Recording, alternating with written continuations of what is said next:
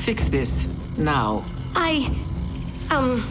We're not sure how to contain the situation. Aisha doesn't seem to be affected by outside attacks. I. I have an idea. She's been trying to get into the sin, right? Well, why not let her? What? Let her have what she wants. She wants to get in here? Fine, okay. But when she's in, we'll have access to her too. It's a two-way street. We can use that street to stroll right on into Aisha's digital core using my rec room. Then all we gotta do is press her off switch. Are you sure this will work? Uh, probably. Do it. And Mixer, don't fuck this up.